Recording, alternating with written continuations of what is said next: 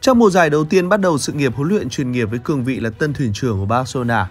Pep Guardiola nhanh chóng để lại ấn tượng bằng việc giúp đội bóng này trở thành tập thể đầu tiên hoàn tất cú ăn 6 vĩ đại.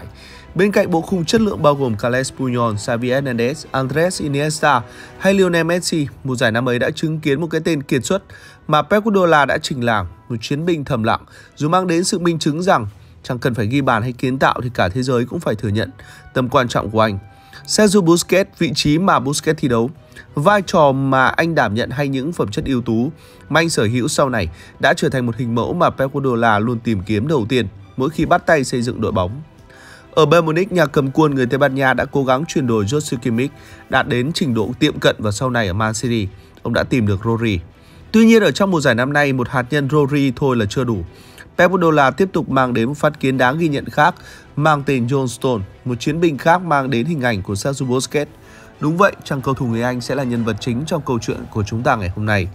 Trong trận chung kết với Inter Milan vào đêm hôm kia, không ngoa khi nói John Stone chính là chỗ dựa vững chắc nhất đối với các thủ Man City và bước đường hướng đến chiến thắng của họ. Vào những thời điểm mà nhiều người đã bắt đầu nghi ngờ với cây dớp có thể khiến Man City phải lỡ hẹn một lần nữa khi đôi chân của cầu thủ không còn ngoan ngoãn, đâu đó đã xuất hiện sự trục trặc trong một hệ thống vốn vận hành trơn tru của Pep, hay nói đúng hơn là áp lực tâm lý đã phần nào ảnh hưởng đến một vài cái tên.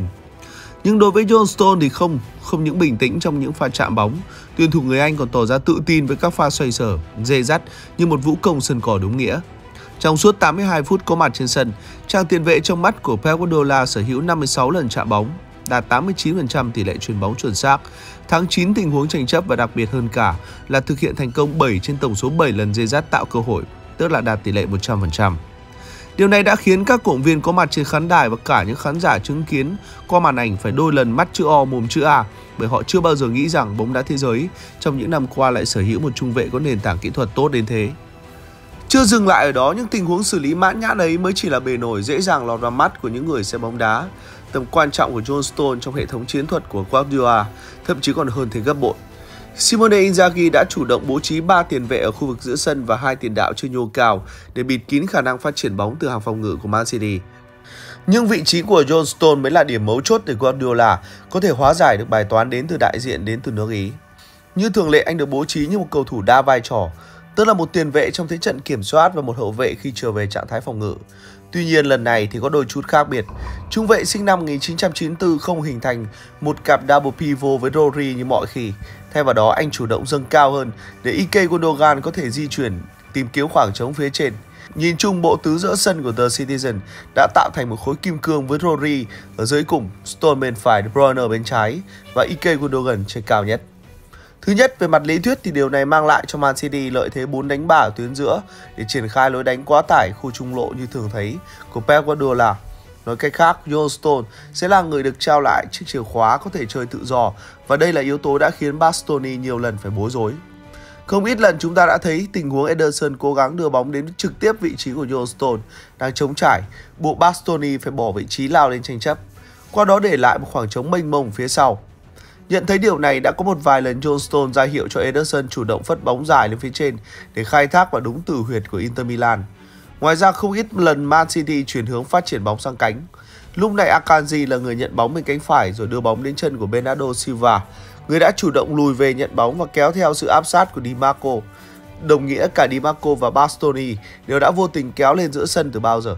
Nhờ vào phẩm chất kỹ thuật của mình, tiền vệ người Bồ Đào Nha không mất quá nhiều nhịp kiểm soát để cố gắng thực hiện đường truyền vào cho Joe Stone, người đã vào trạng thái sẵn sàng khoét vào 1 phần 3 phần sân của Inter Milan. Trong hiệp 2, thậm chí Joe Stone còn có thể làm nhiều hơn những yếu tố như đã nói ở trên, đó là khả năng cầm bóng sộc thẳng vào hàng phòng ngự của đối phương như một số 8 điển hình. Không phải là một tiền vệ theo kiểu sáng tạo, cũng chẳng phải là một mẫu box to box phủ khắp các vị trí trên sân, nhưng điều mà Yosto làm tốt nhất đó chính là việc anh luôn biết cách đưa ra những quyết định chuẩn xác tùy thuộc vào từng tình huống. Trung vệ của Tam Sư luôn cho thấy bản thân tương đối thoải mái mỗi khi có bóng trong chân và biết cách để tạo ra sự khó chịu cho đối phương ở 1 phần 3 cuối sân. Đáng nói nhất là tình huống mà cầu thủ này đã ít nhiều tạo ra sức ảnh hưởng trong bàn thắng duy nhất của cả đội.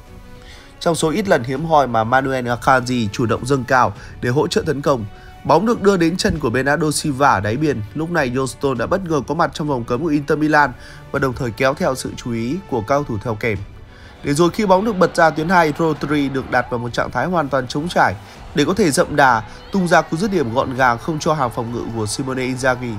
có bất cứ một cơ hội nào để cản phá. Sau tất cả những nỗ lực trong suốt nhiều năm qua, Pep Guardiola cuối cùng cũng đã hoàn thành được sứ mệnh đưa Man City lần đầu chạm tay vào vinh quang ở đấu trường châu lục.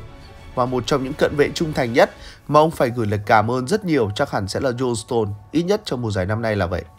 Chỉ với màn trình diễn nói trên thôi là đủ để thấy được John Stone mang nhiều phẩm chất đáng ngưỡng mộ như thế nào. Thực tế có rất ít trung vệ của bóng đá thế giới có thể tự tin đảm nhận vai trò như John Stone nhưng lần này anh cho thấy niềm tin của Pep Guardiola là không hề hoang phí. Không chỉ ở trận chung kết Champions League này, ngay cả chiến thắng trước Manchester United trong khuôn khổ chung kết FA Cup, John Stone cũng là một trong những cái tên đặc biệt nổi bật trong hàng ngũ của nhà vô địch giải đấu. Ở một số tình huống, John Stone đã thể hiện sự bình tĩnh đến mức đáng kinh ngạc chỉ bằng một hai động tác để loại bỏ các thủ theo kèm. Khả năng thoát pressing và những pha xử lý đơn giản nhưng tinh tế của cầu thủ này đã làm nhiều người nghĩ ngay đến Sergio Busquets. Có thể ví dụ vui là trong số các hậu duệ được phát triển theo hình mẫu của Sergio Busquets, Joshua Kimmich được đánh giá cao nhờ nhẫn quan nhạy bén, Rodri thừa hưởng khả năng đọc tình huống và đưa ra quyết định chính xác, thì John lại mang đến hình ảnh của Busquets trong những điểm chạm bóng. Có lẽ chúng ta đã nói quá nhiều về việc ngoại trừ Lionel Messi, không có cầu thủ nào là đặc biệt quan trọng trong mắt của Pep Guardiola hay không có cái tên nào là không thể thay thế. Hoặc là ông sẽ tìm kiếm được một cầu thủ có các phẩm chất tương tự để lắp vào, hoặc là ông sẽ chọn cách xoay chuyển sơ đồ, vận hành với những gì mình đang có. Nhưng ngược lại, nhìn vào trường hợp của John Stone mới thấy rằng bất cứ ai cũng có thể được trao một vai trò quan trọng trong các thời điểm nhất định hay nói đúng hơn là khả năng có thể tìm ra phiên bản hoàn hảo nhất cho từng cầu thủ của Pep Guardiola. Còn nhớ những thời điểm mà những chấn thương cùng với đó là phong độ thiếu ổn định sau những lần trở lại khiến nhiều người nghĩ rằng cánh cửa cuốn gói khỏi Etihad đã mở toang trước mắt của John Stone. Lần lượt là Ruben Diaz, Nathan Ake, Manuel Akanji cập bến cùng với đó là Kyle Walker dần được khai thác trong vai trò trung vệ lệch khiến cho vị thế của anh từng bị lung lay dữ dội. Nhưng cũng đâu ai ngờ rằng nhà cầm quân người Tây Ban Nha chỉ mất một vài tuần để biến anh trở thành một trong những mắt xích ảnh hưởng trực tiếp đến thành bại của cả đội. Nói thế không có nghĩa là tất cả nhờ hoàn toàn vào cặp mắt nhìn người và tài cầm quân thao lược của Pep Guardiola, mà nó còn phụ thuộc vào cả những nỗ lực không ngừng của John Stone. Ngày mà người ta cho rằng anh sớm muộn cũng sẽ rời Etihad thôi, Stone không nói không rằng. Thay vào đó anh vẫn giữ được sự điềm tĩnh vốn có trên sân cỏ và một thái độ cầu tiến trong luyện tập. Trung vệ này cũng là một trong những nhân tố góp phần tạo nên bầu không khí vui nhộn trong phòng thay đồ của Man City. Chẳng phải tự nhiên mà khi được hỏi rằng đâu là cái tên mà bạn muốn được thi đấu cùng tại đội tuyển Bồ Đào Nha nhất, Bernardo Silva đã không ngần ngại mà gọi tên John Stone. Với tất cả những gì đã thể hiện và bên cạnh đó được vinh dự góp mặt trong thành phần những cái tên đã cùng Man City mở ra một trang lịch sử mới. Chắc chắn một điều rằng tương lai của John Stone vẫn là ở Etihad, thậm chí anh còn đang được quy hoạch trở thành một trong những trụ cột sắp tới của Man City, trở thành một Sergio Busquets tiếp theo được xây dựng trong hình hài của John Stone.